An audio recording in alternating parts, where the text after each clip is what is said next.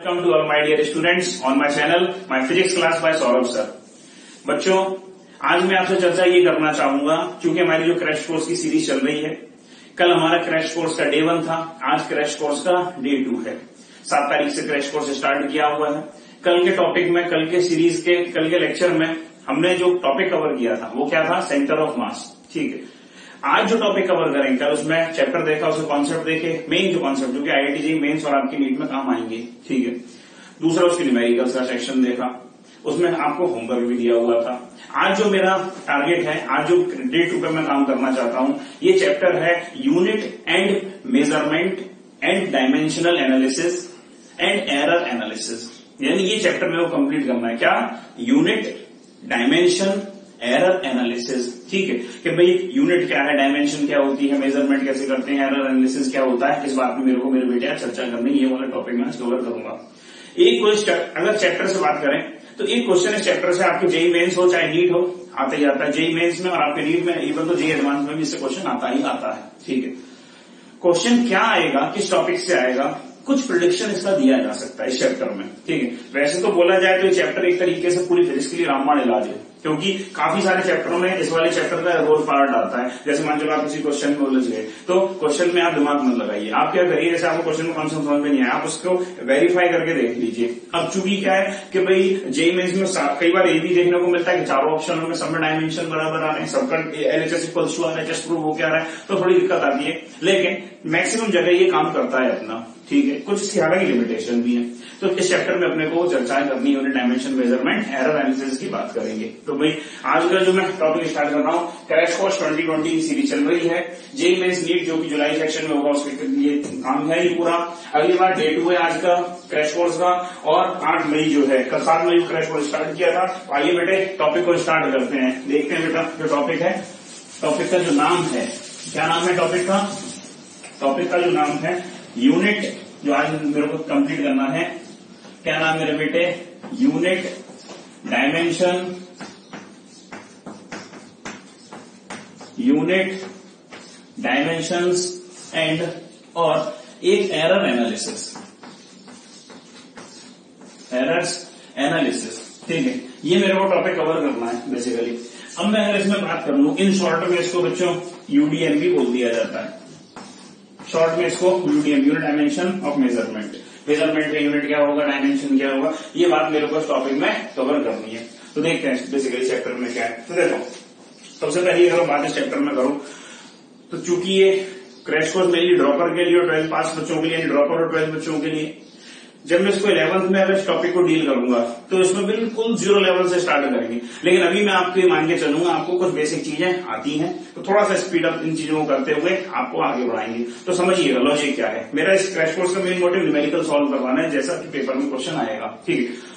अब है क्या इसमें? सबसे पहली बात आती है फ़िज़िकल क्वांटिटी क्या है? तो भाई, मेरा धर्म है इन चीज़ों को बताना। तो एक बार मैं आपको स्टेप बाय स्टेप सारी चीज़ों से अवगत करा देता हूँ। सबसे पहली बात क्या है? इस चैप्टर की जो शुरुआत है, वो क्या है मेरे बेटे? फ़िज़िकल क्वांटिटी पी क्यू सबसे पहली बात क्या है? फ़िज़िकल क्वांटिटी फ़िज़िकल क्वांटिटी क्या चीज़ होती है बेसिकली कि ऐसी कोई भी क्वांटिटी जिसको आप मेजर कर सकते हो और जिसका यूज़ करके हम फिजिक्स के लॉज को एक्सप्लेन कर सकते हैं। ऐसी क्वांटिटी को बोलते हैं फ़िज़िकल क्वांटिटी जैसे लेंथ हो गया मास हो गया टाइम हो गया, ये सब फ़िज़िकल क्वांटिटी है मेरे पास, ठीक है? तो फ़िज़िकल क्वांटिटी क्या? ऐसी कोई भी क्वांटिटी जिसको आप मेजर कर सकते हो कोई भी मेजरेबल क्वांटिटी है और जिसका यूज़ करते हुए आप फिजिक्स के लॉज को एक्सप्लेन कर सकते हो। जैसे मान के चलो, मेरे को भाई कूलाम एक्सप्लेन करना है। कि गुलाम ने क्या बोला? कि दो चार्ज पार्टिकल जो कि रेस्ट में, उनके बीच में दो पॉइंट चार्ज पार्टिकल जो कि रेस्ट में, उनके बीच में लगने वाला electrostatic force of attraction repulsion क्या होगा इक्वल्स टू के यानी one point four by epsilon naught Q one Q two by R square अब दोनों चार्ज पार्टिकल के बीच में आपको डिस्टेंस ही नहीं मालूम है। अब दोनों चार्ज पार्टिकल के बीच में अगर आपको इलेक्ट्रोस्टैटिक फोर्स कैलकुलेट करके बताना है तो उस फोर्स की बात कैसे बता पाओगे?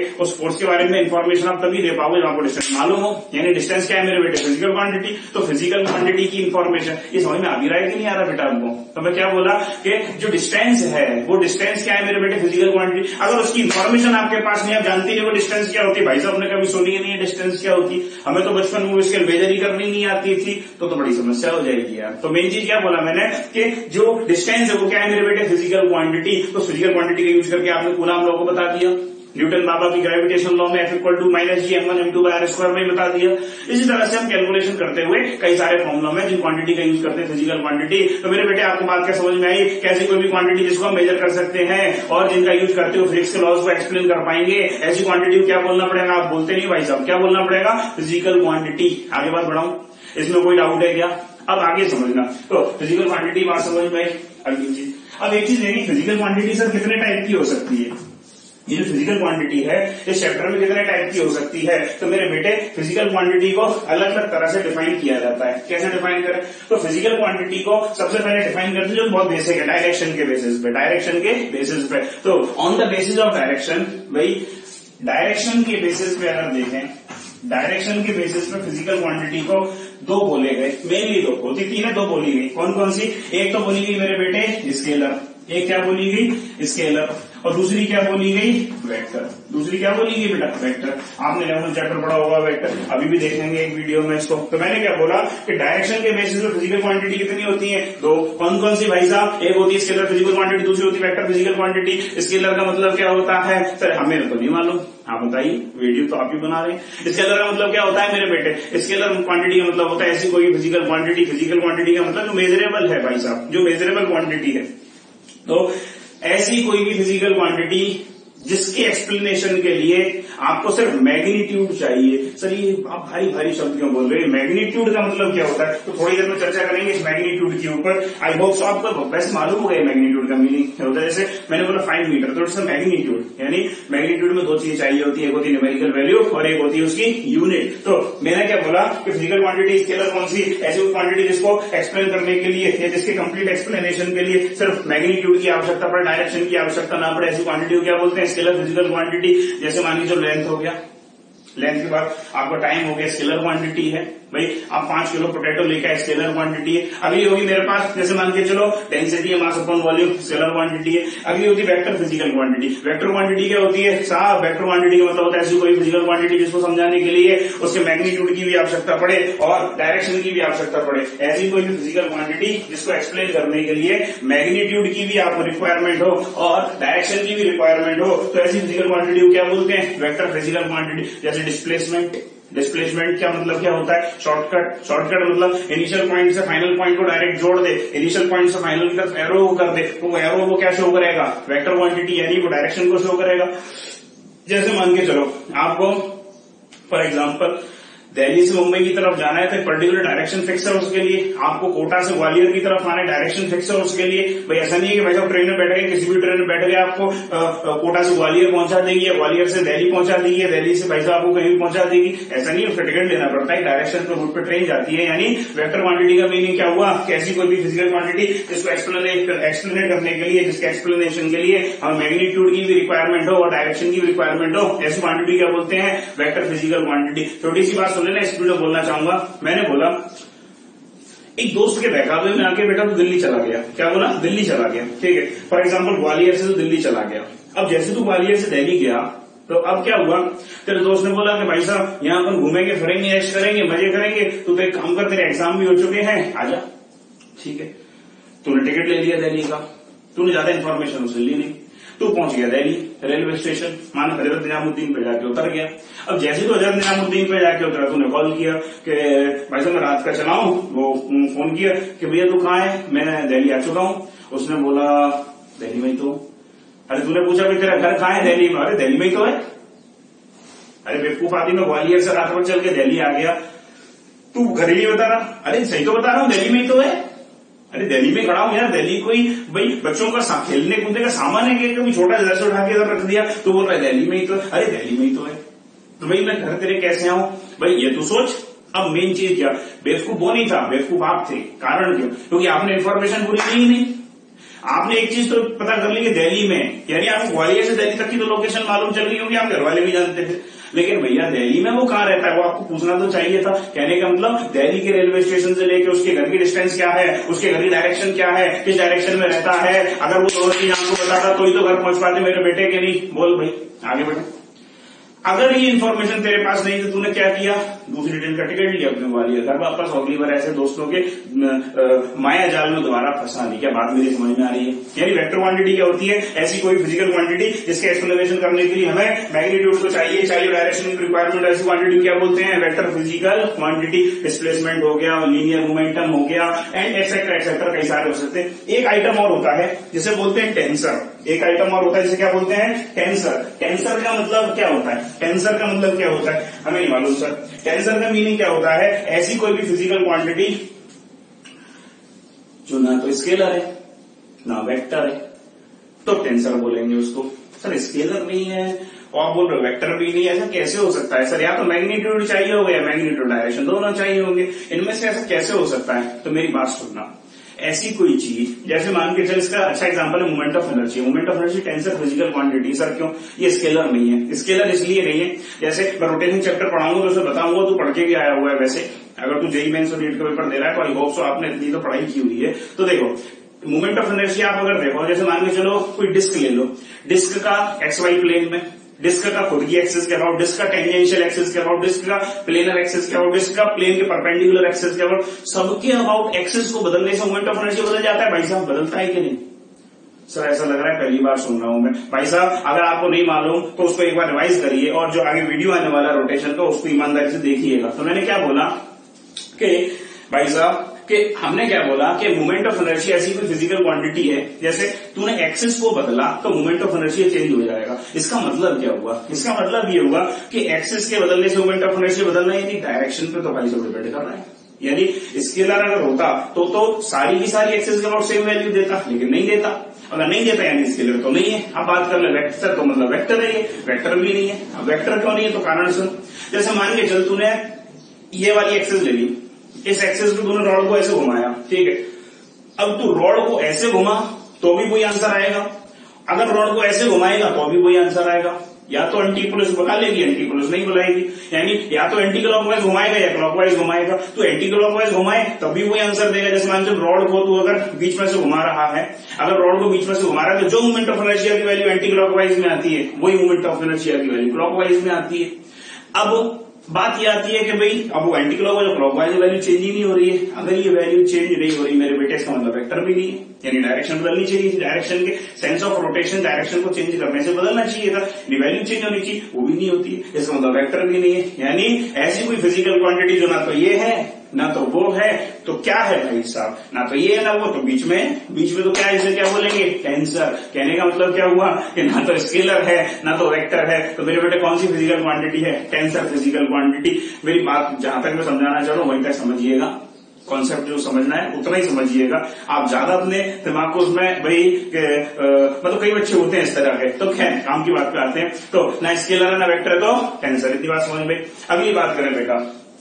एक क्वेश्चन मैं आपसे पूछना चाहूँगा। तो हमने दो टाइप की फ़िज़िकल क्वांटिटी का एक्सप्लेनेशन देखा कि ऐसी कोई फ़िज़िकल क्वांटिटी जो इसके डायरेक्शन के बेसिस पे स्केलर हो सकती है, एक वेक्टर हो सकती है, एक टेंसर हो सकती है। अगली बात करें, अगली बात करें डिपेंडेंसी के बेसिस पे। एक बात का मेरे को जवाब दे। जैसे मान के चल, तेरे घर वालों को, तेरे घर वालों को मतलब तेरे माता पिता को। हो सकता है घर वाली सुन रहा हो भाई साहब। मैंने बोला, तेरे घर वालों को, यानी तेरे माता पिता को फॉर एग्ज़ाम्पल एक कार खरीदनी है। ठीक है, या कुछ भी खरीदना है। तो अब क्या होगा? कि वो मार्केट में जाएँगे खरीद के जाएँगे। एक बार घर में भी पूछ लिया कि बेटा अपन वो एक कार खरीदने जा रहे हैं तो एक अपना ये बता दे कि ये, अब उन्होंने बोला कि बजट हमारा था पाँच लाख का। तू कार बता रहा है भाई साहब, उनको एक करोड़ की। पूछ आता है, ये सब कुछ नहीं बेकार है भाई साहब। ठीक है, यानी कहने का मेरी बात समझना कि तेरे घर वाले जो कार खरीदने गए तो तुझसे एक बार पूछ लिया तो सलाह मांगी। ठीक है, कि कौन सी ले लें? एक बात, लेकिन एक बात बताओ, क्या उनका कार खरीदना हंड्रेड परसेंट तेरे ऊपर ही डिपेंड कर रहा था कि भाई तू मना कर देगा तो नहीं खरीद कर लाएँगे? तू अगर हाँ कर देगा तो ही खरीद कर लाएँगे। नहीं। लेकिन किसी सामान को, तेरे अगर मान तू खरीदना चाहता है किसी सामान को? तू किसी चीज़ को परचेज करना चाहता है तो तेरा कोई सामान खरीदना जब भाई अभी फॉर एग्ज़ाम्पल मान लीजिए ट्वेल्थ क्लास में अगर तो तेरा किसी भी सामान को खरीदना, तेरा किसी बात के लिए तो वो आपके माता पिता पर हंड्रेड परसेंट डिपेंड करेगा। मेरी बात समझना। कि भाई, तूने बोला कि पापा मेरे को तो एरोप्लेन चाहिए। पापा ने बोला, भाई, सब लिया जाके मेले में लगेगी दुकान, ले लेना मेले में से। अरे, मेले में खेलने वाला थोड़ी, मेरे चलाने वाला चाहिए। अभी तो मेहनत तो कर उसको लाने के लिए। अरे घर वाले ये तो बोलेंगे। तो मेन चीज़ क्या? कि तेरा किसी सामान खरीद तूने बोला, मैं ट्वेल्थ में आकर पापा, मेरे को तो बाइक दिला दो, मैं इलेवन में फेल हो गया, आपने स्कूल बदल दिया, मैं तो ट्वेल्थ क्लास में आ गया, मेरे को तो बाइक दिला दो। पापा ने बोला बाइक अच्छा अभी देता हूँ तेरे को बाइक उन्होंने बोला, वो डंडा रखा है भाई से उठा तो लियो माँ जाके कोने में से। तेरे को बाइक दिलवाता हूँ। कहने का मतलब समझ रहा मेरा?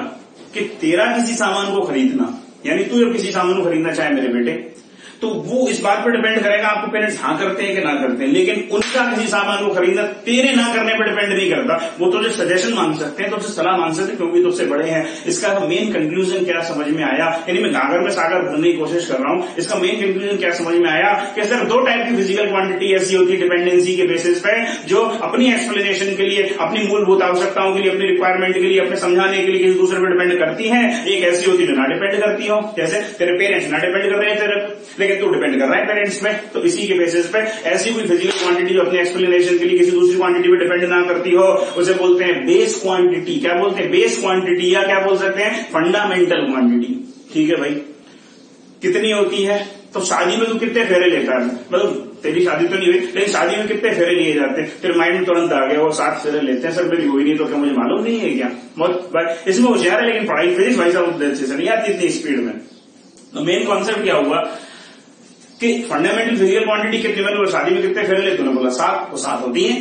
फंडामेंटल फ़िज़िकल क्वांटिटी कितनी होती है? सात होती है। कौन कौन सी होती है? लेंथ होती है मास होती है टाइम होती है एंडसोन एंडसोन एंडसोन ये सात फंडामेंटल फ़िज़िकल क्वांटिटी होती है भाई साहब। इतना तो होशियार है। सातों फंडामेंटल फ़िज़िकल क्वांटिटी मालूम है। यानी वो अपने एक्सप्लेनेशन के लिए किसी दूसरे फ़िज़िकल क्वांटिटी पर डिपेंड नहीं करती। दूसरी कौन सी होती है सर डिपेंड करती है। जैसे बोलते डिराइव्ड फ़िज़िकल क्वांटिटी क्या बोलते हैं? डिराइव्ड फ़िज़िकल क्वांटिटी जैसे मैंने बोला मास तो मास फंडामेंटल फ़िज़िकल क्वांटिटी जो सात की जो टेबल है कि भाई आपका लेंथ हो गया मास हो गया टाइम हो गया इलेक्ट्रिक करंट हो गया ल्यूमिनस इंटेंसिटी हो गया आपका अमाउंट ऑफ़ सब्सटेंस हो गया जो कि मोल है कौन कौन सी लेंथ हो गया मास हो गया टाइम हो गया ल्यूमिनस इंटेंसिटी हो गया आपका टेम्परेचर हो गया और अमाउंट ऑफ़ सब्सटेंस मोल हो गया और कौन सा है और कौन सा बच रहा है बेटा एक और कोई सब एक और बच रहा है शायद टेम्परेचर टेम्परेचर हो गया length mass time length mass time भी सबको सातों बच रहा है वो सोच के देखना भाई। तो मैंने क्या बोला कि सात फंडामेंटल जो फ़िज़िकल क्वांटिटी होती है, ये अपने एक्सप्लेनेशन दूसरे पर डिपेंड नहीं करती। लेकिन दूसरे एक आइटम होता है जो भी डिपेंड करता है। उसे क्या बोलते हैं? डिराइव फ़िज़िकल क्वांटिटी नाम भी समझ में आ रहा है? डिराइव यार। डिराइव मतलब डेरिवेशन से निकाली हुई है।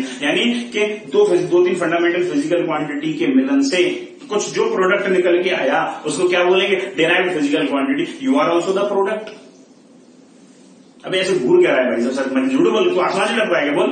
भाई you are also the product तो भाई you are also the product of your parents तो मेन चीज़ क्या? कि ऐसी कोई क्वांटिटी जो फंडामेंटल फ़िज़िकल क्वांटिटी के प्रोडक्ट यानी उनके मिलन से कुछ निकल के प्रोडक्ट आया, उसको बोलेंगे डिराइव सर, कैसे? समझ में नहीं आया। सर, जैसे स्पीड का फॉर्मुला बता मेरे क्या होता है? डिस्टेंस अपॉन टाइम डिस्टेंस क्या? फ़िज़िकल फंडामेंटल क्वांटिटी टाइम क्या? फंडामेंटल फ़िज़िकल क्वांटिटी लेकिन स्पीड क्या? फंडामेंटल फ़िज़िकल क्वांटिटी है भाई साहब। नहीं वो कौन सी? डिराइव फ़िज़िकल क्वांटिटी है। डिराइव फ़िज़िकल क्वांटिटी मतलब क्या अपने एक्सप्लेनेशन के लिए किसी दूसरे फ़िज़िकल क्वांटिटी पर डिपेंड करती है? फंडामेंटल फ़िज़िकल क्वांटिटी डिपेंड करती हो? ऐसी क्वांटिटी क्या बोलते हैं? डिराइव फ़िज़िकल क्वांटिटी स्पीड हो गया. डेंसिटी हो गया. और भी कई सारे एग्ज़ाम्पल ऐसे ले सकते हैं भाई साहब इतनी बात क्लियर है क्या? आगे बढ़े। फिर हम लोगों की आदत क्या होती है कि एक किलो शक्कर लेने गए मार्केट में, या कुछ पोए खाने गए भाई साहब, ठीक है? पोई की प्लेट लेंगे पोई की प्लेट लेंगे बीस रुपए की पोई की प्लेट लेंगे बीस रुपए की, ठीक है? अपन क्या चाहेंगे कि बीस रुपए में जो डालना है तो डाल ही दे। भाई भाई साहब, उसकी शादी पे खड़े रहेंगे, थोड़े से और डाल दे। वो पूरा आइटम डाल देगा उसमें, खाना चालू कर दिया सी नींबू में छोड़ दे। थोड़ी सी मिर्ची और डाल दे, मेरे को प्याज और डाल दे। अब मालूम प्याज बहुत महँगी तो ऐसे प्याज ही मांगेंगे अपन उससे प्याज और डाल दे। मेरे में तो प्याज मेरे को अच्छी लग रही है। कहने का मतलब क्या हुआ? अपने को चाहिए एक्स्ट्रा ये दिल ज़्यादा माँगता है भाई साहब, कि जो फ्री में मिल जाए, इसको लपेट लो। कहने का मतलब क्या हुआ? अपने को ज़्यादा चीज़ें चाहिए होती है। तो इसी तरह से फिजिक्स ने भी आपको ज़्यादा दिया है सात तो फंडामेंटल फ़िज़िकल क्वांटिटी तमाम सारी डिराइव फ़िज़िकल क्वांटिटी दे दी। फंडामेंटल के साथ उसने बोला कि थोड़ा ज़्यादा और ले तू ऐसा तेरे को ज़्यादा की आदत, तू और ले। You are Indian so you take ज़्यादा। अब देखो, ज़्यादा मतलब क्या?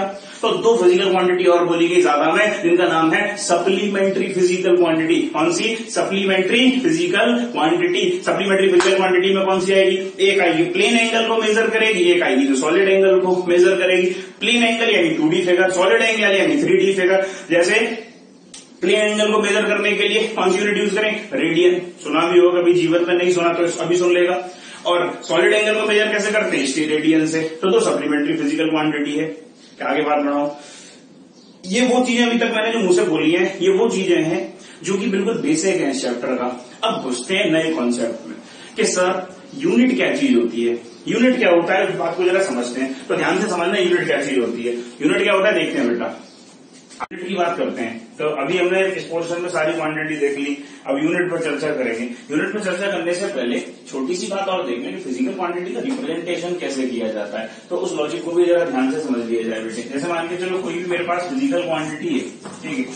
किसी भी फ़िज़िकल क्वांटिटी को जो रिप्रेजेंट किया जाता है, वो इस तरह से रिप्रेजेंट पहली बार कुछ इसमें काम की बातें हैं। सबसे पहले काम की बात, किसी भी फ़िज़िकल क्वांटिटी को रिप्रेजेंट करने के लिए इन जनरल मेरे पास दो चीज़ें होना चाहिए। एक तो होना चाहिए न्यूमेरिकल वैल्यू न्यूमेरिकल वैल्यू और एक होना चाहिए मेरे पास यूनिट जैसे मम्मी ने बोला आपसे कि बेटा जो कोचिंग से लौटे पे काम करना, एक लीटर दूध ले आना।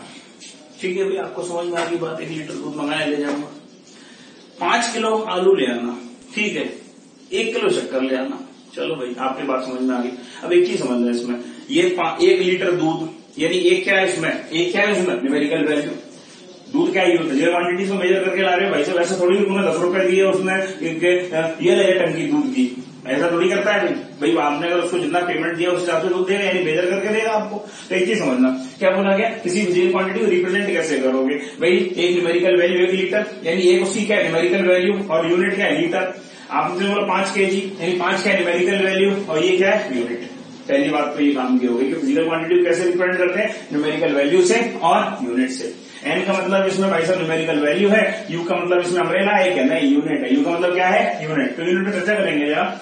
अगली बात इसमें लॉजिकल देखना किसी फ़िज़िकल क्वांटिटी के लिए, जैसे मान के चलो, एक सिस्टम से दूसरे सिस्टम में फ़िज़िकल क्वांटिटी को कन्वर्ट करते हैं, जैसे मान चलो एसआई सिस्टम से सीजीएस में कन्वर्ट करना है सीजीएस से एफपीएस में कन्वर्ट करना है, यानी आपस में इंटर रिलेशन होते हैं। तो जो इंटर रिलेशन होते हैं, वो रिलेशन क्या होते हैं? तो रिलेशन यहाँ से समझ में आ जाएगा, यानी N one U one equals to N two U two आगे इसका भी यूज़ आएगा। ठीक है? N one U one equals to N two U two यानी ये एन वन यू वन एक सिस्टम में है एन टू यू टू दूसरे सिस्टम में। जैसे मान चलो ये एसआई सिस्टम ऑफ़ यूनिट में मेज़रमेंट में, ये सीजीएस में है तो N one U one equals to N two U two इससे क्या बात समझ में आई? इससे बात ये समझ में आई भाई साहब मेरे को N into U equals to constant N into U equals to constant अभी तो N one U one equals to N two U two या तो ये बोलते एन यू कॉन्स्टेंट होता है तो ये, या ये बोलते ऐसा है तो ये। ठीक है?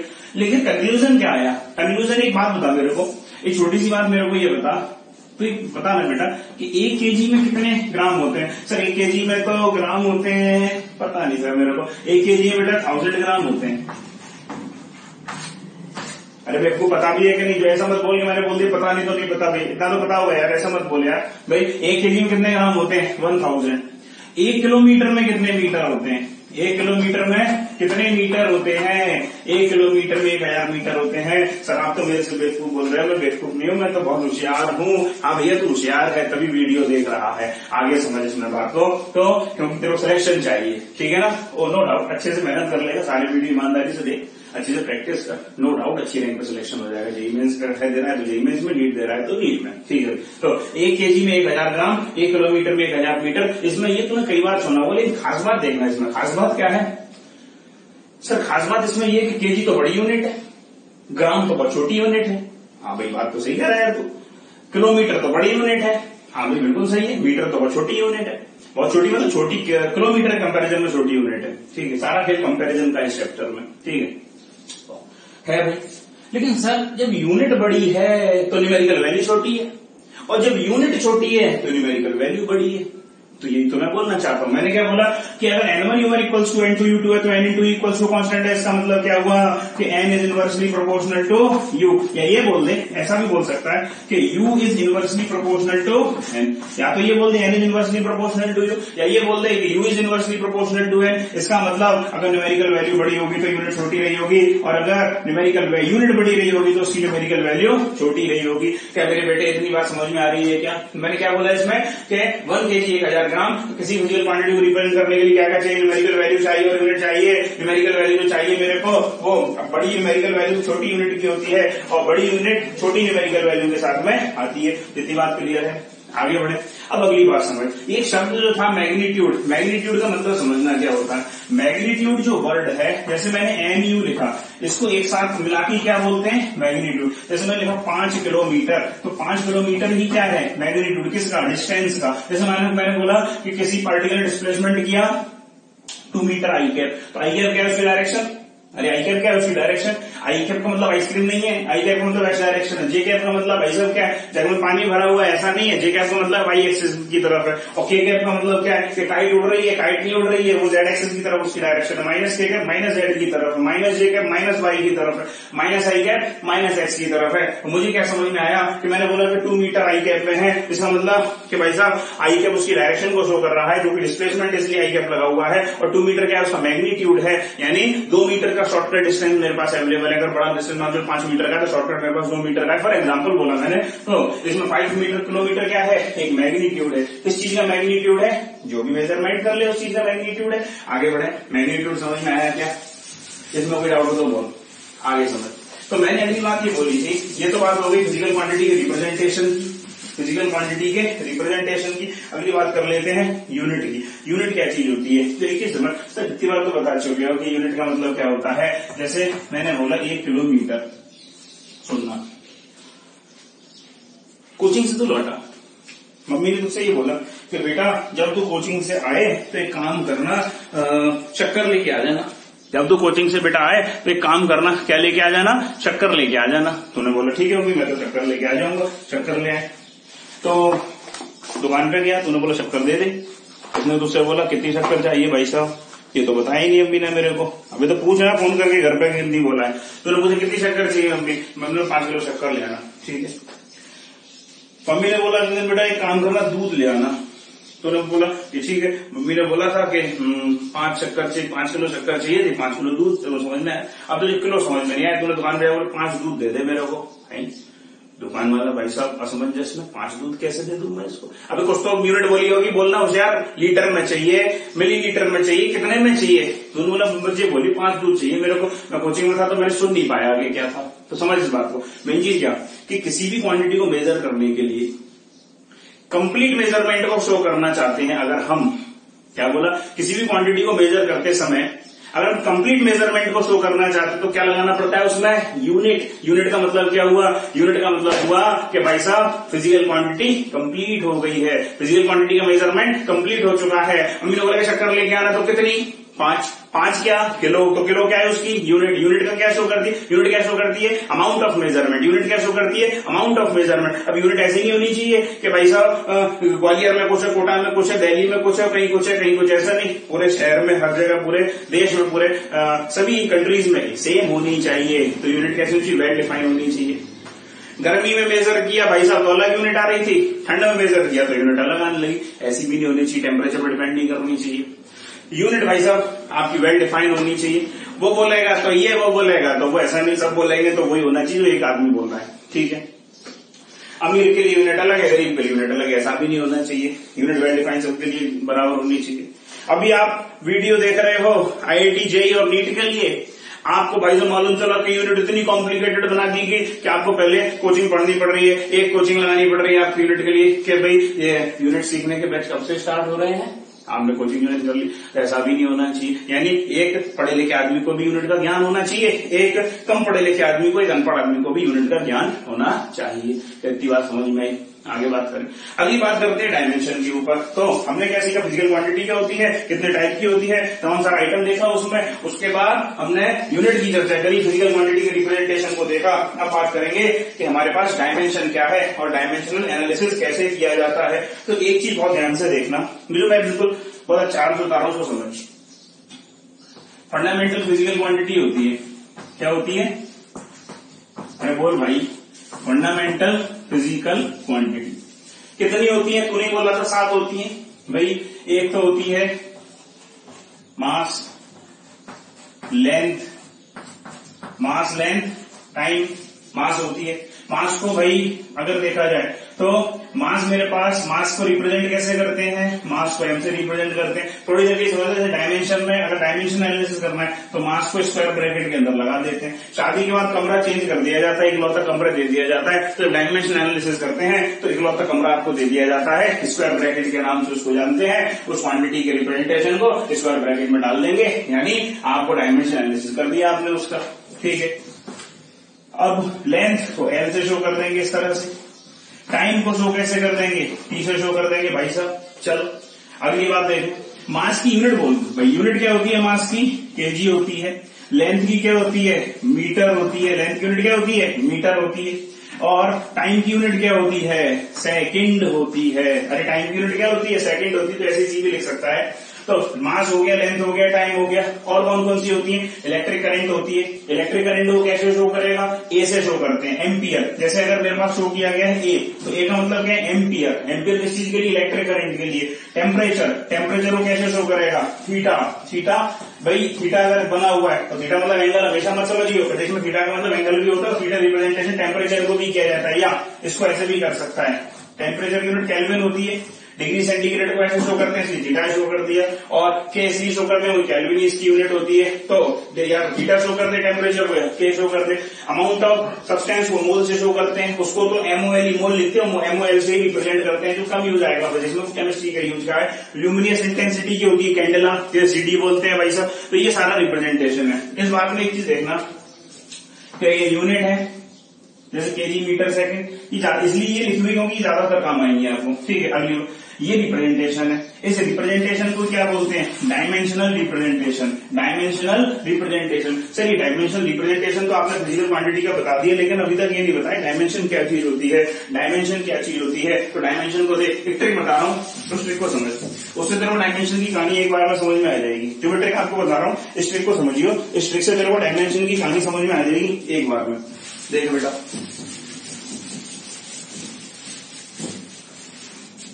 डायमेंशन का मतलब क्या होगा? कोचिंग में तेरे क्या मिलती है?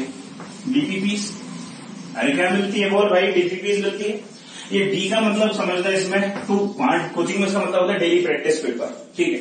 लेकिन यहाँ इसका मीनिंग क्या है? डी का मीनिंग है डायमेंशन इस एक पी का जो मीनिंग है, वो है भाई पावर और एक पी का मीनिंग है फ़िज़िकल क्वांटिटी कहने का मतलब क्या हुआ? कि किसी भी फ़िज़िकल क्वांटिटी के ऊपर फ़िज़िकल क्वांटिटी को समझाते समय, जो पावर रेज की जाती है किसके ऊपर? जो पावर हम रेज करते हैं किसके ऊपर? फ़िज़िकल क्वांटिटी के ऊपर। उस पावर को ही क्या बोलते हैं? डायमेंशन बोलते हैं। इसका मतलब क्या डायमेंशन क्या है sir dimension is the power which is raised to any physical quantity to any fundamental physical quantity to express any quantity ठीक है? सर ये बात थोड़ी सी कम समझ में आई। पूरी समझ। जैसे, ऐसे देख। क्या बोला गया? जैसे मान लीजिए मेरे को मालूम है मेरे को एरिया का बता। एरिया का यूनिट बता। तो एरिया का यूनिट होता है मीटर स्क्वायर ये मीटर किस चीज़ की रिप्रेजेंटेशन था? अरे, जैसे लीजिए वॉल्यूम का बता। वॉल्यूम के वॉल्यूम की यूनिट क्या होती है मेरे बेटे? मीटर क्यूब अब एक चीज़ सुन। ये मीटर किस चीज़ का रिप्रेजेंटेशन है? लेंथ का। अरे मीटर किस चीज़ का रिप्रेजेंटेशन है? लेंथ का। अब एक चीज़ देखें। तो ये लेंथ क्या था? फ़िज़िकल क्वांटिटी था। अगर ये फ़िज़िकल क्वांटिटी था। तो इसके ऊपर कितनी पावर चलाई थी उन्हें दो। तो दो ही क्या है इसका? एरिया का डायमेंशन कितना है? दो। ये दो डायमेंशन एरिया का डायमेंशन क्या है? दो एरिया में भी किसका डायमेंशन है? लेंथ का डायमेंशन दो है। अगली बात वॉल्यूम वॉल्यूम की यूनिट क्या होती है? मीटर क्यूब तो इसमें पावर कितनी है? फ़िज़िकल क्वांटिटी कौन सी है? लेंथ लेंथ की ऊपर पावर कितनी है? थ्री तो डायमेंशन क्या है इसका? थ्री यानी वॉल्यूम का डायमेंशन क्या हो गया? थ्री जैसे मान के चल, मेरे पास स्पीड स्पीड क्या होता है? डिस्टेंस अपॉन टाइम यानी उसकी यूनिट क्या होती है? मीटर पर सेकंड अगर मीटर में देखो एक चीज़ तो मीटर का इसमें पूरी स्पीड को समझाने के लिए जो मीटर का डायमेंशन है, वो क्या कुछ नहीं तो वन अबे सबका मालिक है, कुछ नहीं तो एक हो गया। और सेकंड का भी डायमेंशन वन लेकिन डिनोमिनेटर में मैं इसको ऐसा भी लिख सकता हूँ, भाई साहब M S minus one M metre का डायमेंशन वन सेकंड का डायमेंशन माइनस वन दूसरे तरीके से समझ। कई बार तूने एक चीज़ देखी हुई शादी संबंधों में, जैसे मान के चल, तेरी शादी हुई, समझ ना, तेरी शादी हो गई, ठीक? हुई नहीं, मान के चल, हो गई तेरी शादी। अब एक चीज़ समझ। शादी हो गई, सब हो गया। अब जब घर वाले जुड़े तो कई सारे रिश्तेदार जुड़े। सबको क्या लगता है, भाई साहब, शादी हमारी वजह से हुई है? सबको क्या लगता है, शादी हमारी वजह से ही हुई है? कैसे? हमने शादी में ये किया तो शादी हुई। एक आदमी बोलेगा भाई साहब, मैं वो रिश्ता लेके आया, इसलिए शादी हुई। वो बोलेगा ये किया इसलिए शादी हुई। कहने का मतलब क्या हुआ? यानी हर एक शादी इज़ द कॉन्ट्रीब्यूशन ऑफ़ कई सारे लोग। अरे, एक शादी इज़ द कॉन्ट्रीब्यूट तू क्या सोचता है? शादी, भाई साहब मियाँ बीवी की गेम है कैसा नहीं शादी इज़ द कॉन्ट्रीब्यूशन ऑफ़ कई सारे लोग। कई सारे लोगों का कॉन्ट्रीब्यूशन है उसमें। ठीक है। आगे समझ। जब कई सारे लोग मेरे को बोल रहे यार हमने ये किया, हमने ये किया। कई सारे लोगों का कंट्रीब्यूशन कई सारे लोगों का जो योगदान है शादी के होने में तो वो अपना योगदान का बखान कर रहे हैं कि वो सबको लगता है, भाई हमने ऐसा किया इस वजह शादी हो पाई, इसकी सफल हो पाई शादी। सफल मतलब वो तो तेरे हाथ में, लेकिन शादी हो पाई कि नहीं हो पाई, वो उस बात पर डिपेंड करता है। यानी कि शादी होने में कितने लोगों ने क्या क्या योगदान दिया क्या क्या कॉन्ट्रीब्यूशन दिया तो एक ही समझ जो कंट्रीब्यूशन वहाँ आदमी दे रहे हैं, वो अपने कंट्रीब्यूशन क्या कर रहे हैं? बखान। यानी एक शादी इज़ द वर्ड कंट्रीब्यूशन कई सारे लोग इसी तरह से ये जो डिराइव्ड फ़िज़िकल क्वांटिटी है, मैंने क्या बोला? जो डिराइव्ड फ़िज़िकल क्वांटिटी है it is also the contribution of कई सारी फ़िज़िकल फंडामेंटल क्वांटिटी कौन कौन सी? लेंथ और टाइम सो किसका कितना कॉन्ट्रीब्यूशन वो शो करता है dimension what is the amount of contribution is called dimension amount of ये बुक में लिखी नहीं मिलेगी डेफिनेशन समझ लीजिए इसको, ध्यान से कॉन्सेप्ट है amount of contribution is called dimension ये कंट्रीब्यूशन किसमें होगा? कंट्रीब्यूशन क्वांटिटी को बनाने में होगा. यानी किसी भी डायरेक्ट फ़िज़िकल क्वांटिटी को, किसी भी डायरेक्ट फ़िज़िकल क्वांटिटी को बनाने के लिए कितनी फंडामेंटल फ़िज़िकल क्वांटिटी का योगदान लगा? जैसे पावर टू है, यानी डबल बार लगा? यानी थ्री है तीन बार लगा यानी amount of contribution which is given by the fundamental physical quantity to make any direct fundamental direct physical quantity is called dimension ये बात क्लियर है बेटा? चलो सर डायमेंशन भी सीख लिया। जब डायमेंशन सीख लिया तो डायमेंशन फॉर्मूले को भी सीख लेते हैं। तो हमने यूनिट सीख ली डायमेंशन सीख लिया डायमेंशन फॉर्मूले को सीख लेते हैं। तो क्या बात समझ में आई कि किसी फ़िज़िकल क्वांटिटी के ऊपर जो पावर रेज करेगा उसको क्या बोलेंगे उसकी? डायमेंशन यानी स्पीड में डायमेंशन क्या है? लेंथ की वन टाइम की कितनी है? वन आगे बढ़े। अब बात करते हैं डायमेंशनल फॉर्मूले को लेके। सही डायमेंशनल फॉर्मूला क्या बोला है? क्या चीज़ है डायमेंशनल फॉर्मूला तो उसको देखा जाए। बहुत सिंपल से डायमेंशनल फॉर्मूले से मैं स्टार्ट करूँगा। देख बेटा, बहुत ध्यान से समझ। जैसे मैंने बोला, हो सकता है ये कई सारे बच्चों को ये चीज़ आती हो, आपको बधाई हो। जिन बच्चों को नहीं आती है उसको वो बच्चे ध्यान से देखें। जिन बच्चों की चीज़ें, ऐसा लग रहा है बहुत इजी है। नो डाउट चैप्टर बहुत इजी है भाई साहब। भी चैप्टर स्कोरिंग भी है। बहुत ज़्यादा इजी चैप्टर है। अगर आपने इस वीडियो को कंप्लीट अच्छी तरह से देख लिया तो ये मान के चलिए आपको जेई में और नीट में इवन तो जे एडवांस में क्वेश्चन नहीं छूटने वाला किसी तरीके का, इस चैप्टर के रिगार्डिंग का। ठीक है? ऐसे सारे चैप्टरों में आपसे बोल रहा हूँ। चैप्टर बहुत इजी है। आपको लगता है अगर पोर्सन नहीं आता है, थोड़ा सा स्किप कर दीजिए। आगे का पोर्सन देख लीजिए। तो आगे समझे इसमें क्या बोला गया? जैसे मास है ठीक है। तो मास का डायमेंशनल रिप्रेजेंटेशन क्या बताया था मैंने? एम ठीक है। अगर मेरे से बोला गया लेंथ है तो लेंथ का डायमेंशनल रिप्रेजेंटेशन क्या है? एल इसी तरह से अगर मैंने बोला टाइम तो टाइम का डायमेंशनल रिप्रेजेंटेशन क्या है मेरे बेटे? टी है। अगर मैंने बोला कि मेरे पास एरिया तो एरिया की यूनिट क्या होती है? साहब मीटर स्क्वायर होती है। अरे मीटर तो लेंथ है। अगर लेंथ है तो ये एल का स्क्वायर हो जाएगा। अगर मैंने बोला कि वॉल्यूम तो वॉल्यूम का dimensional formula so it is a क्या dimension formula it is dimensional formula it is dimensional formula ठीक ठीक है वॉल्यूम तो वॉल्यूम की यूनिट क्या होती है भैया? मीटर की होती है। सर मीटर तो लेंथ की यूनिट है। अरे, है ना? तो मैं कब बोल रहा हूँ? मैं भी तो बोल रहा हूँ लेंथ की यूनिट है। तो एल क्यूब हो गया वॉल्यूम एरिया वॉल्यूम हो गया एरिया हो गया वॉल्यूम हो गया, और बोल आगे क्या लें आगे डेंसिटी जैसे डेंसिटी तो डेंसिटी क्या होता है? मेरे लल्लू डेंसिटी होता है मास अपॉन वॉल्यूम डेंसिटी क्या होता है? मास अपॉन वॉल्यूम तो मास को कैसे रिप्रेजेंट करते हैं मेरे बेटे? एम और वॉल्यूम को कैसे रिप्रेजेंट करते हैं? अरे सर एल क्यूब करते हैं, अभी तो देखा था। तो इसको कैसे लिख सकते हैं हमें एम और एल की पावर माइनस थ्री तो what's the dimension formula of density density का एम एल की पावर माइनस थ्री नोट करें इसको. Dimension formula of density M L की पावर माइनस थ्री आगे देख आगे देख भाई साहब. स्पीड है वेलोसिटी का. भले ही स्पीड स्केलर है वेलोसिटी वेक्टर क्वांटिटी है, लेकिन फिर भी डायमेंशन फॉर्मूला सेम रहेगा. भाई, अगर मैंने बोला कि मेरे को स्पीड का बता दे या वेलोसिटी का बता दे, क्योंकि डिस्टेंस की यूनिट भी क्या होती है? डिस्टेंस की यूनिट मीटर होती है और डिस्प्लेसमेंट की यूनिट भी क्या होती है? मीटर होती है. टाइम तो सबके लिए बराबर है. भाई टाइम की सुंदर सी डेफिनेशन क्या हो सकती है? कभी सोचा है? एक बार सोच लो कमेंट सेक्शन में बताना। लेकिन टाइम की पूरे संसार में सबसे बेस्ट डेफिनेशन जो है, मुझे ऐसा लगता है। जो टाइम की बेस्ट डेफिनेशन है कि टाइम वो है जो घड़ी बताती है। टाइम क्या है? जो घड़ी बताती है। सो टाइम इज़ वॉट घड़ी द घड़ी द वॉट द घड़ी विल बताई। दैट इज़ टाइम यानी जो घड़ी बताती है, वही तो टाइम है। इस अच्छी डेफिनेशन सोच के देख लेना। हो तो कमेंट सेक्शन में बताना बेटा। ठीक है आगे देखते हैं। सो स्पीड या वेलोसिटी है एक चीज़ समझे। तो स्पीड वेलोसिटी क्या चीज़ होती है? स्पीड वेलोसिटी की यूनिट क्या होती है मेरे बेटे? मीटर पर सेकेंड अरे स्पीड देखेगा तो डिस्टेंस बटे टाइम हो जाएगा। वेलोसिटी देखेगा तो डिस्प्लेसमेंट अपॉन टाइम हो जाएगा। तो चाहे डिस्प्लेसमेंट एक वो भी मीटर डिस्टेंस एक वो भी मीटर तो metre per second metre per second हो जाएगा। यानी मीटर तो लेंथ की यूनिट है टाइम तो टी है। तो ये क्या हो जाएगा मेरे बेटे? L T minus one important कुछ ऐसे डायमेंशन फॉर्मूले हैं तो जो चैप्टर में याद होने चाहिए। जैसे आपकी वेलोसिटी स्पीड हो गया एक्सेलरेशन हो गया मोमेंटम हो गया फोर्स हो गया वर्क पावर एनर्जी का वर्क हो गया पावर हो गया एनर्जी हो गया। कुछ ऐसे डायमेंशन फॉर्मूले भेजे जो याद होने चाहिए, क्योंकि अगर क्वेश्चन जब इस आई टी क्वेश्चन करेंगे नीट क्वेश्चन करेंगे तो वो क्वेश्चन में ये डायरेक्ट काम आते हैं। आप बार बार सॉल्व नहीं करोगे। कुछ है जो याद होने चाहिए। ठीक है? यानी बेस है, बिल्कुल। तो स्पीड की होगी एल टी माइनस वन अगर मैं देखूँ इसी तरह से एक्सेलरेशन का देखूँ बेटा? एक्सेलरेशन तो एक्सेलरेशन क्या होता है? सर एक्सेलरेशन की तो यूनिट होती है मीटर पर सेकेंड स्क्वायर मुझे शक्कर दो, मीटर पर सेकेंड स्क्वायर मुझे शक्कर दो, मुझे शक्कर दो. मिर्ची लगी तो तुमने क्या मांगा? कि मुझे शक्कर दो, मीटर पर सेकेंड स्क्वायर भाई फिर कैसे हो गया? अरे एक्सेलरेशन तो क्या होता है होशियार? Change in velocity upon time तो वेलोसिटी होती है metre per second upon time यानी मीटर पर सेकंड का स्क्वायर तो मीटर पर सेकंड स्क्वायर तो इसका क्या हो जाएगा? इसका तो डायरेक्ट लिख के बता मेरे को लेंथ का तो एल और टाइम का टी स्क्वायर अरे तो होशियार, ये तो हो गया एल टी माइनस टू तो वेलोसिटी क्या समझ में वेलोसिटी बोलना पड़ेगा मेरे साथ में। वेलोसिटी क्या होता है L T minus one acceleration क्या होता है मेरे बेटे? L T minus two velocity L T minus one sir velocity तो एल टी माइनस वन हो गया। एक्सेलरेशन तो एल टी माइनस टू होता है। एक्सेलरेशन क्या होता है? बेटा एल टी माइनस टू अगला देखें फोर्स फोर्स बोल क्या बोलना है? फोर्स तो फोर्स का अगर देखेंगे तो फोर्स क्या हो जाएगा? फोर्स तो होता है मास इंटू एक्सेलरेशन अरे फोर्स क्या होता है? मास इंटू एक्सेलरेशन यानी मास की यूनिट तो होती है केजी एक्सेलरेशन की होती है मीटर पर सेकंड स्क्वायर तो डायमेंशन फॉर्मुला लिख देंगे तो क्या हो जाएगा? सर मास का तो हो जाएगा एम लेंथ का हो जाएगा एल टाइम ऊपर आएगा तो हो जाएगा T minus two M L T minus two याद रखियो। भाई क्या होता है? एम इंटू ए तो मास का होता है एम एक्सेलरेशन का L T minus two M L T minus two हो जाएगा फोर्स अब भाई हमने स्पीड देख लिया एक्सेलरेशन देख लिया डेंसिटी देख ली फोर्स देख लिया मोमेंटम अब क्या देखें? लीनियर मोमेंटम मोमेंटम क्या चीज़ होती है भाई साहब? अगर देखें मोमेंटम लीनियर मोमेंटम की अगर मैं बात कर लू तो मोमेंटम क्या होता है? कायदे से वेक्टर क्वांटिटी डायमेंशन फॉर्मुले को कोई फ़र्क नहीं पड़ता। स्पीड हो चाहे वेलोसिटी और स्केलर हो चाहे वेक्टर डायमेंशन फॉर्मुला सेम रहेगा। तो T equals to M into V एक बात का जवाब देने देखो मोमेंटम क्या चीज़ होती है? सर मोमेंटम वो होता है तो मुझको नहीं मालूम।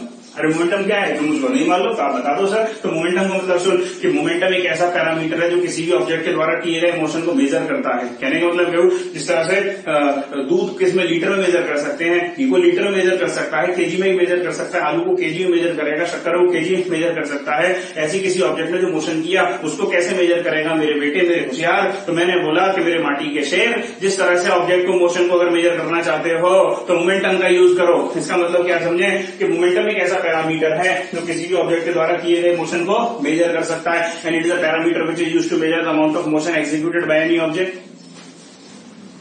मेरी इंग्लिश थोड़ी ज़्यादा स्ट्रांग है भाई, सब में आ तो रही है? फिर ठीक है।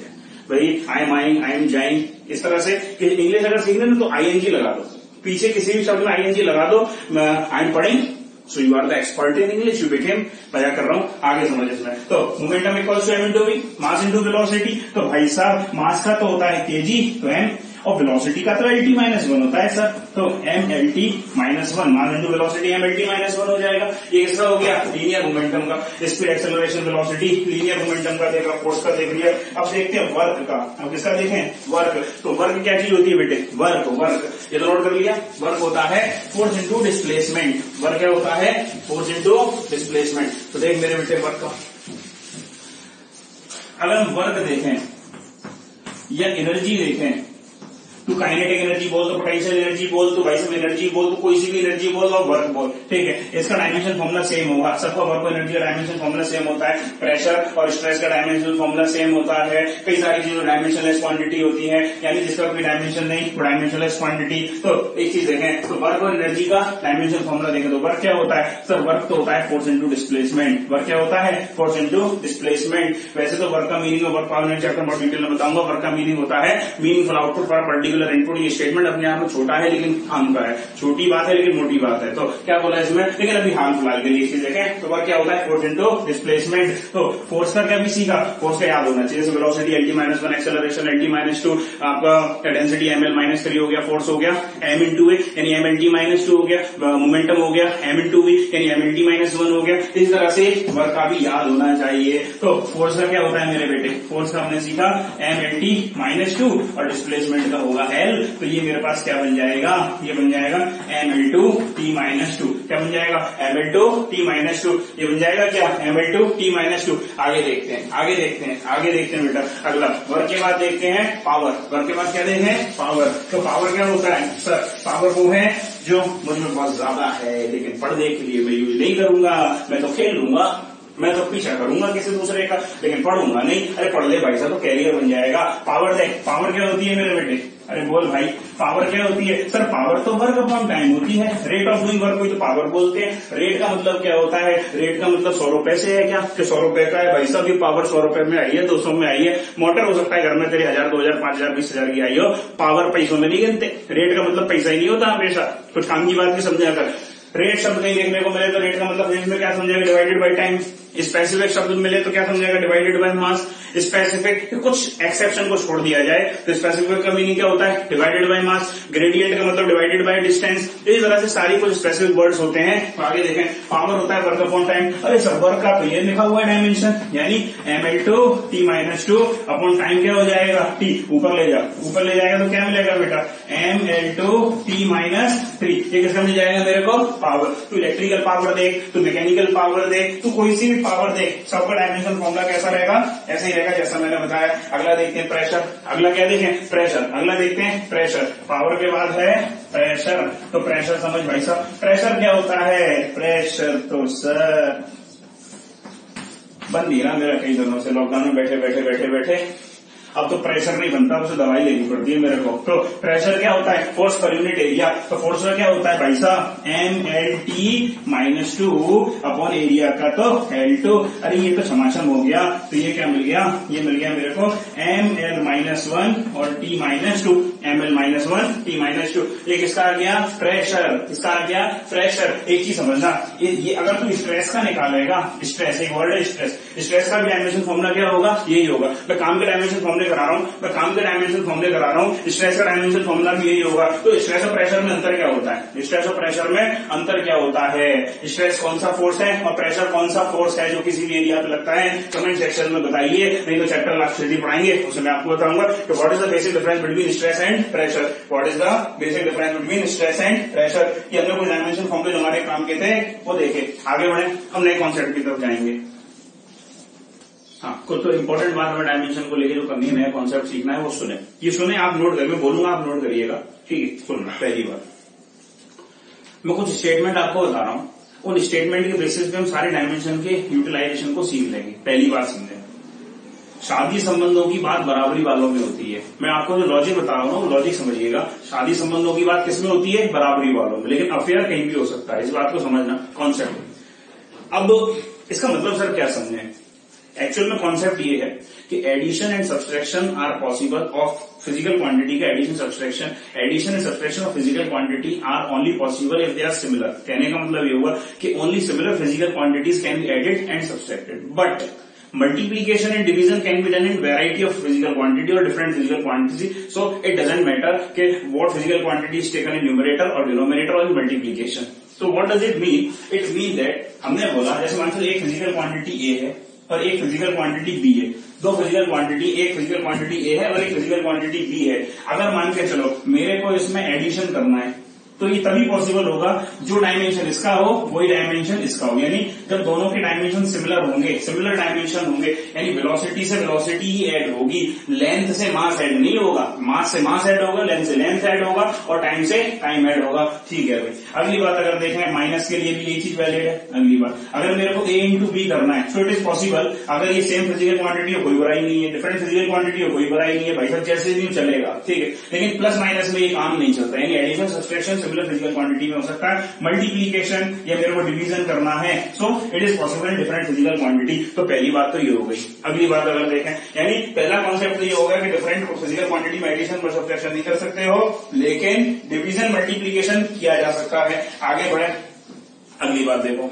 जैसे मान के चलो भाई जैसे ऐसे मान के चलो।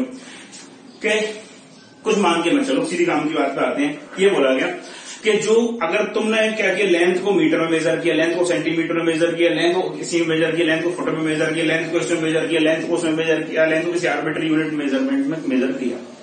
सारे मेजरमेंटों की स्केल पर अगर आप देखोगे तो लेंथ का यूनिट बदल जाएगी, उसकी न्यूमेरिक यूनिट चेंज हो सकती है न्यूमेरिकल वैल्यू चेंज हो सकती है, बड़ी छोटी हो सकती है, क्योंकि numerical value universally proportional to unit होती है।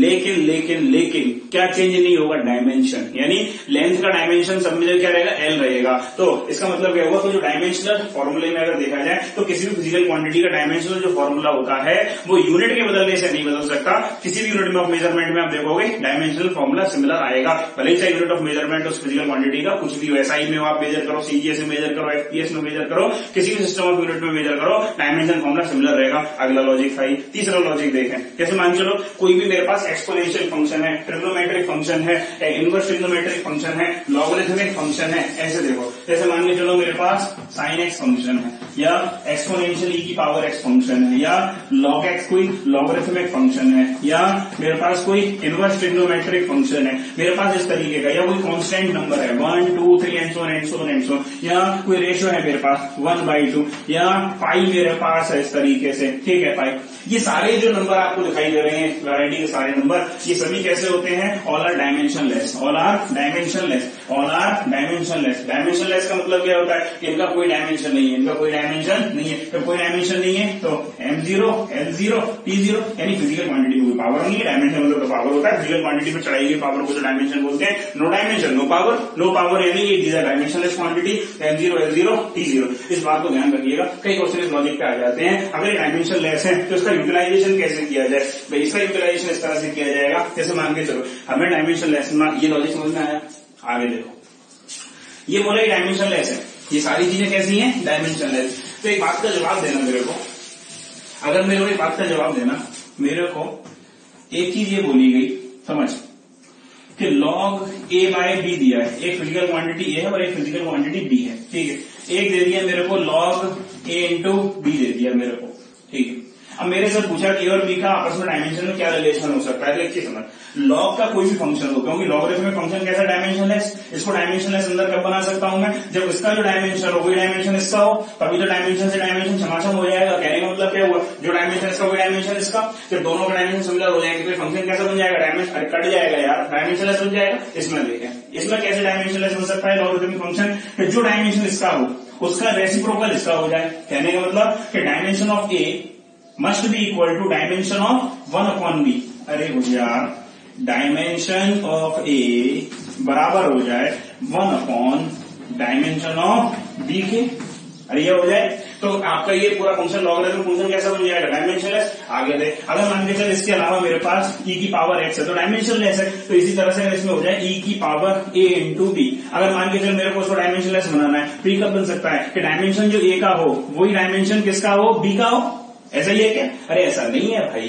कैसा है? तो जो डायमेंशन ए का हो, उसका इनवर्स डायमेंशन किसका हो? बी का। यानी dimension of A must be reciprocal of dimension of B इसी तरह से अगर मैं ई की पावर ए बाय बी में देख लूँगा तो ये कब पॉसिबल होगा? तो ए का डायमेंशन और बी का डायमेंशन कैसा हो जाए? बराबर? तो dimension of A equal to dimension of B हो जाएगा। तो ये बात बराबर हो जाएगी। जैसे मान के चलो एक छोटी सी रेडियो एक्टिव डेके इक्वेशन देखें। छोटी सी रेडियो एक्टिव डेके इक्वेशन देखें, जो कि मॉडर्न फिजिक्स सीखेंगे न्यूक्लियर पार्ट में। यानी N T equals to N naught E की पावर माइनस लेमडा टी ये कुछ भी हो सकता है मेरे पास। मान के चलो, कोई इक्वेशन है, आपको अगर नहीं मालूम, कोई बात नहीं, आपके लिए भाई साहब ये खेल खिलौने वाली बात है। लेकिन ये मॉडर्न फिजिक्स का पार्ट है। तो एक ही समझे, मान के चलो, ये मेरे पास टाइम हो। मान नहीं चलो, ये टाइम ही होता है। ठीक है? मेरे से बोला गया कि ये टाइम है। तो मेरे को लेमडा की जो लेमडा इसमें लिखा हुआ है, इस लेमडा की डायमेंशन बताइए, कि अब एक ही समझ, अगर ये की पावर जो भी ए की पावर है फ़ंक्शन कैसा बनाना है, मेरे को डायमेंशन लेस ये डायमेंशन लेस कब हो सकता है? जब ई की power A into B type का है जो इसका डायमेंशन हो रेसिप्रोकल इसका हो एंड अगर इसका डायमेंशन